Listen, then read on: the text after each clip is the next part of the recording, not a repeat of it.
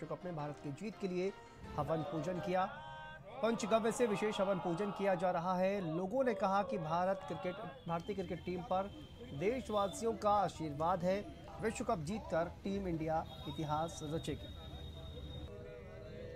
ये कल हमारा जो विश्व कप होने जा रहा है हम- हमारे देश के शेर दिल और हमारे प्रधानमंत्री खुद वहाँ पहुँच रहे हैं, इंडिया टीम को बढ़ावा देने के लिए।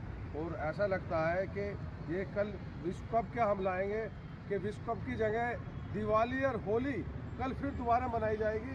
ये आशा हिंदुस्तान के हर नौजवान, हर बहन, हर महिला कर रही है और विश्व कप हम बड़ी अच्छी उससे जीतेंगे और इन्हें कंगारुओं को ऐसी मात देंगे जो कभी इंडिया के सामने खेलने की हिम्मत ना कर कार्यक्रम का हमारा कल के कल के विश्व कप के फाइनल के लिए हमने हवन किया है यहाँ पे और हम तय दिल से वो हैं कि हमारी कल के हिंदुस्तान की टीम ऑस्ट्रेलिया को बहुत ज़्यादा रनों से हराए और हमारे सारे प्लेयर इस फॉर्म में हैं और हम चाहते हैं कि कम से कम डेढ़ सौ रन के मार्जिन से इंडिया तो वर्ल्ड कप फाइनल में 20 साल बाद एक बार फिर से टीम इंडिया और ऑस्ट्रेलिया की भिड़ंत होने वाली है। इस मैच पर पूरी दुनिया की निगाहें लगी हुई हैं टीम इंडिया की जीत के लिए काशी के घाटों पर क्रिकेट प्रेमियों की महफिल सजी है। क्रिकेट प्रेमियों ने संगीत के ज़रिए उनकी हौसला अफजाई की।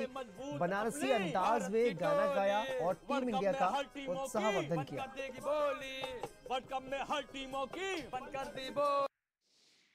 और जोरदार ऑस्ट्रेलिया को पटका दे के गजब का लड़ेगा। लड़ेगा। कहना है। अरे सबसे मज़बूत अपने भारत की टोली। है सबसे मज़बूत अपने भारत की टोली। है सबसे मज़बूत अपनी भारत की टोली। वर्ल्ड कप में हर टीमों की बनकर देगी बोली। वर्ल्ड कप में हर टीमों की बनकर दी बोली। मानेगा ऑस्ट्रेलिया हार हार हार हार मानेगा ऑस्ट्रेलिया। हार हार हार हार। और भारत का टीम करे रनों की बौछार। भारत का टीम करे रनों की बौछार। हो हो! भारत का टीम करे रनों की बौछार। भारत का टीम करे रनों की बौछार। हो, सबसे मज़बूत अपने भारत की टोली। और जोरदार ऑस्ट्रेलिया।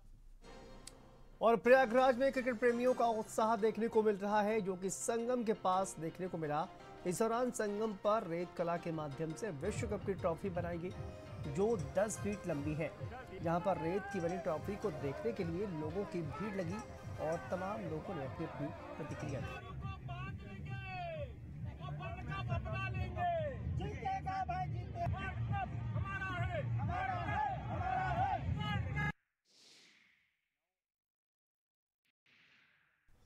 इसी के साथ इस बुलेटिन में फ़िलहाल इतना ही। दीजिए इजाज़त। नमस्कार।